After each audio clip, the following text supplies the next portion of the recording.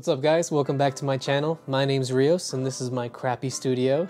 so I was browsing the app store today just looking for apps to download and I noticed that one of my favorite apps that I use to edit my photos had a big update today. And that big update is that you can finally edit your video footage right from within the app using the same tools that you use to edit your pictures. So I'm gonna show you how that looks and why this is a huge deal if you edit video with LumaFusion. But first, let's play that $5 intro.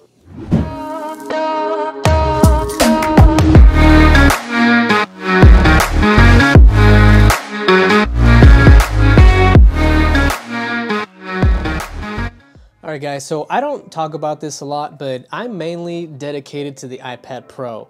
I've had plenty of opportunities to invest in a proper laptop and get some full desktop software, but I just love the power of the iPad Pro. I mean, it's often been said that it's more powerful than laptops, and I think the biggest thing that's limiting it or whether why it's not as powerful is the app. I wish it had more pro apps and I believe that this one could be an extension for LumaFusion because right now I think we could all agree that if you edit on an iPad, you mainly use LumaFusion because there's at least 10 other good editing apps, but LumaFusion is by far the best one. Now I like it a lot, but there are still some key things about it that can't compete with full-size desktop software. To me, it's three things, but the biggest one for a lot of people is proper color grading tools. So now with this update with Darkroom, I really think that you can use this app to color grade your footage where then you can then import it into LumaFusion. Because at the moment, the biggest things that people complain about with LumaFusion is in-body stabilization. Like, dear God, please do that. Above anything else, update that Luma. So there's that. Color grading, maybe it's the little side stuff like proper masking, uh, speed ramping. But I'd say the two biggest ones, the two biggest ones that can make it pro level and compete with Final Cut Adobe is in-body stabilization and proper color grading tools. So with this update now, you can color grade your footage. I'm gonna show you, I'm gonna do a little picture in picture and show you how you do that, get it into LumaFusion, and if this works for you or you like how this looks, this is a game changer, man. Because right now for stabilization, we got two other apps. We got Emulsion, if I'm saying that right, and we got um, Deshake. So for now, we're getting by on using those apps externally and then bringing them into LumaFusion. Now with color grading, I really think we can use this. So let's I'm gonna hop in here. Really quick disclaimer. To use some of these premium features is what they call it, you do need a paid membership. I was fortunate enough to hop on the darkroom whenever it was a one-time purchase of $9.99. I think it's my understanding now that it's a monthly subscription. So I'm not aware of the prices because I'm already I already own the app. I, am a paid user. But if you do know them, leave a comment down on what the subscription is. All right, guys. So let's get started. We're gonna open up Darkroom in our iPad. And right away, the new section that you're gonna see is videos. So this is gonna show you all the video clips that are in your iPad. Uh, the one that I want to specifically edit is this one of myself. So this is from a vlog that I did earlier and it was just on an iPhone. Um, so walking through the steps here on the right, the toolbar that you have here, the first one is frame and fit, or at least that's just what I related to, frame and fit. Um, I, I don't think it's really useful here, in, but I would rather use frame and fit in LumaFusion than here. So moving on, this next one, this is kind of like their filters. I hate to I hate to use the word LUT because these were already here before for their photos. So we'll just say filters. If you wanted to do something quick, you could tap on one of these and you could even change the intensity here. So we're gonna go back to original. Next one here, this is the most common uh, tool set that almost every editor has. Uh, this is the basics, brightness, contrast, highlights, shadows, that kind of stuff. Um, next one, these next two is what I feel what separates Darkroom from LumaFusion or any other app that can potentially edit video, which I think this is the only one right now. Correct me if I'm wrong in the comments. Here we have the S-curve. You can do anything from black, red, green, and blue. And the next is kind of like kind of like a color picker. It's like a hue. You could change the hue, um, saturation, and luminance based on the color that you highlight and the graph shows which colors are very heavy in the clip. So I'm gonna change this back to as shot because some of those were already altered. So if I'm wanting to color grade this, normally I would start with the S curve. So, you know, a lot of this, forgive me, I don't know the proper acronym or lingo for it. I just mess with it until it does what I like on the image, which is what I advise with a lot of this stuff, man. Just do it, try it. Stop researching and try to become an expert. Just do it. You know, that's the best way to to learn. So moving all this stuff here, again, don't know what this is called, but this is looking pretty good. All right, so if you tap on it, you'll see the before, and then this is the after. So, so far we kind of color corrected a little bit. Now we'll go over here to the, the main tool, and I usually lower down my highlights a little bit. Um, let's see, bring up the vibrance. That's right there. But I want to bring down the saturation a little bit. Because uh, usually when I bring up the vibrance, my skin tones come along with it, and then my skin looks really orange. So to combat that, I bring down saturation a bit. So this is really all I would do to this clip here. Next, I'll show you how to use this hue picker here. Let's say I want to fix my skin, right? I didn't want to, let's say I don't want to lower the saturation because that'll that affects the entire image, but I want to bring down my skin tone.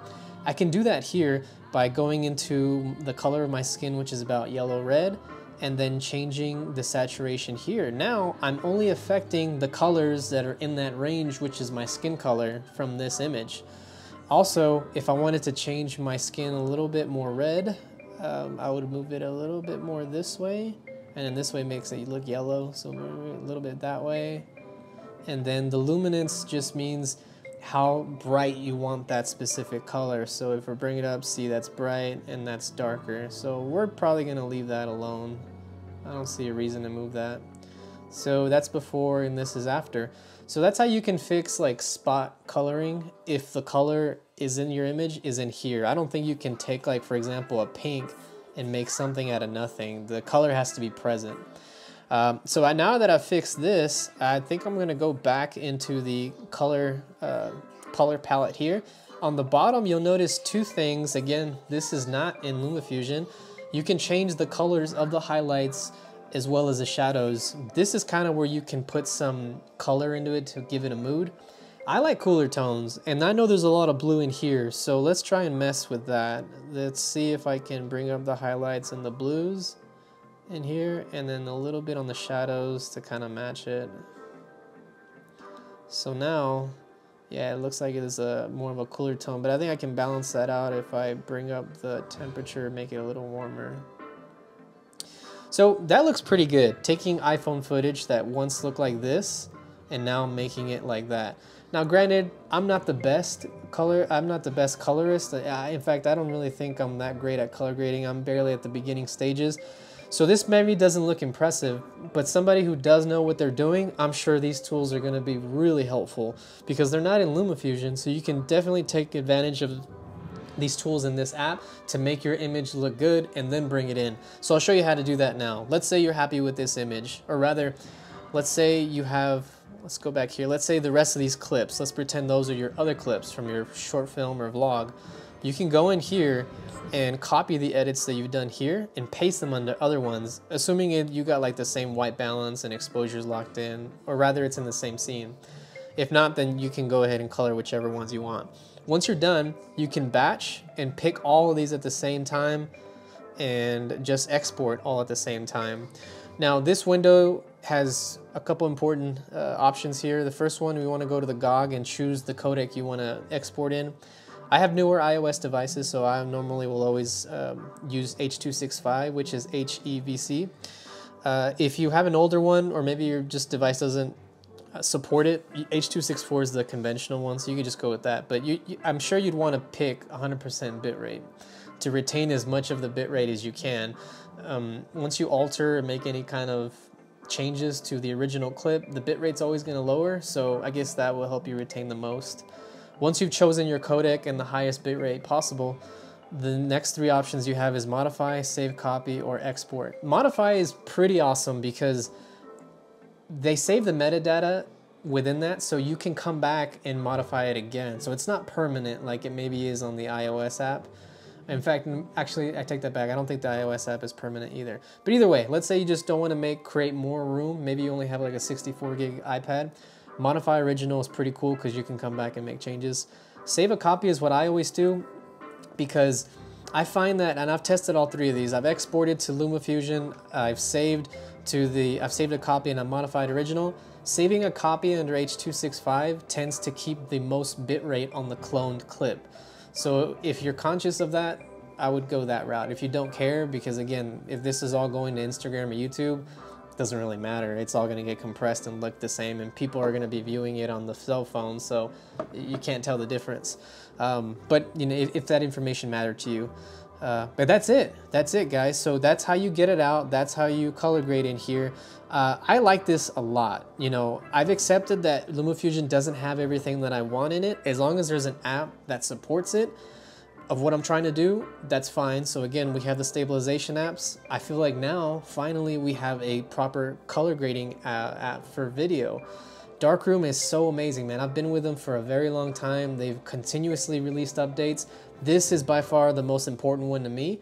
And this has really solidified my decision in using them primarily for editing photos and now video. So if you have any questions pertaining to the app, you know, let me know in the comments below. I'll do my best to answer them. And I think that's pretty much it. I'm gonna try to put out more LumaFusion content because again, I'm all in. I am like 100% iPad Pro and I'm 100% LumaFusion. So anything that supports that app, I'm all in for it. So we'll catch you guys in the next one and stay safe.